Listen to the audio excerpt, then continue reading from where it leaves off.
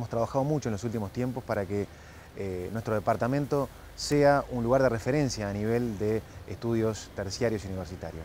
Tenemos características para hacerlo, tenemos una cantidad de instituciones eh, instaladas, tenemos miles de alumnos, tenemos una variedad de carreras, tenemos una inversión permanente en becas estudiantiles por parte del gobierno departamental con una inversión de en torno del millón y medio de dólares al año. ¿Y eso qué significa? Que apostamos de verdad al desarrollo universitario, con un gobierno que entiende que el capital humano es un capital social enorme a la hora del desarrollo como sociedad.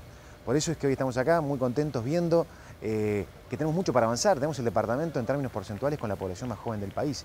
¿Y eso a qué nos impulsa? A seguir trabajando, invirtiendo como gobierno en algo que tiene que ser eh, un faro para nosotros, que es el desarrollo de, las personas. Y para que tengamos eh, una sociedad de calidad con empleo, tiene que haber mano de obra calificada. Y para que haya mano de obra calificada, tiene que haber instituciones educativas de nivel y con apoyo del gobierno. Por eso estamos muy contentos de estar hoy acompañando. Intendencia de Maldonado.